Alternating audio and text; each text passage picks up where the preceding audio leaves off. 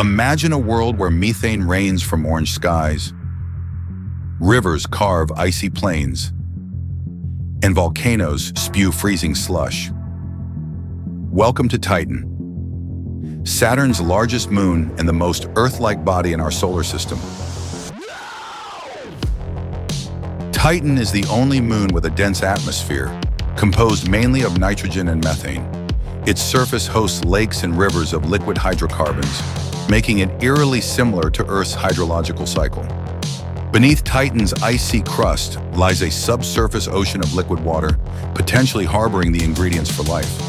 Cryovolcanoes like Sotra Patera may transport this water to the surface, replenishing the atmosphere's methane. Living on Titan poses extreme challenges. Surface temperatures around negative 179 degrees Celsius, low gravity, and a thick atmosphere devoid of oxygen. Yet, its rich organic chemistry offers a unique laboratory for studying prebiotic conditions. Titan mirrors Earth's environment in uncanny ways, yet remains alien and inhospitable. Could humanity one day adapt to such extremes, or is Titan destined to remain a frozen enigma? Drop your thoughts in the comments. What next?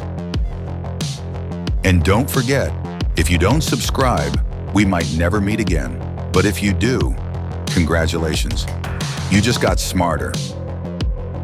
See you.